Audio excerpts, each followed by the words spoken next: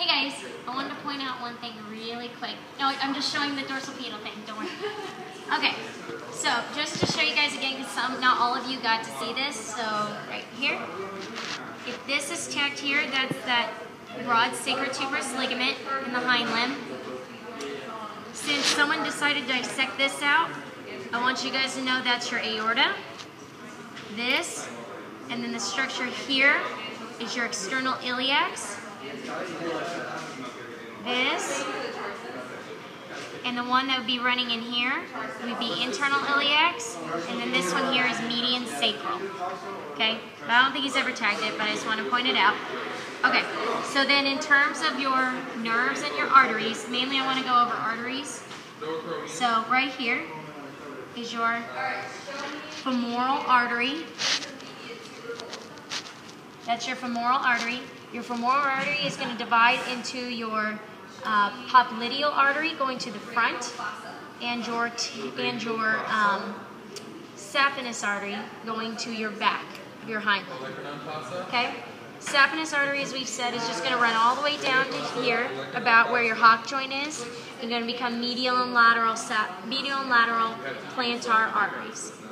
What I wanted to mainly point out is from popliteal, you have a cranial and a caudal tibial artery, and that's going to dive and go to the front. So what I want to point out is this part here. It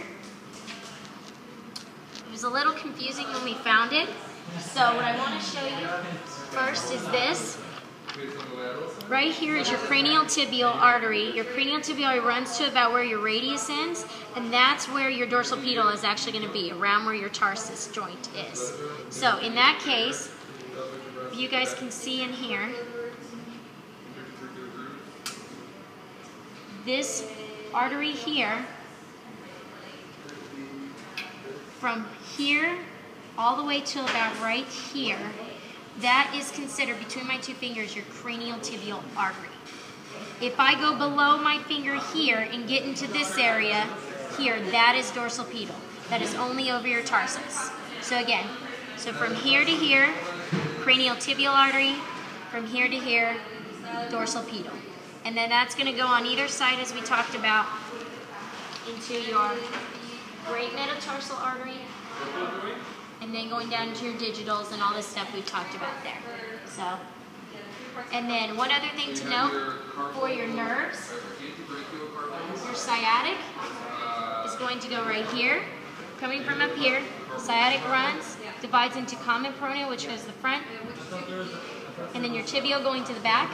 Someone did make mention that your common peroneal, when it becomes superficial and your deep peroneals, that someone did dissect it out. So if it goes towards the front, looks like it's going towards the front, superficial. If it goes deep, deep peroneal. Good. Just wanted to point that out.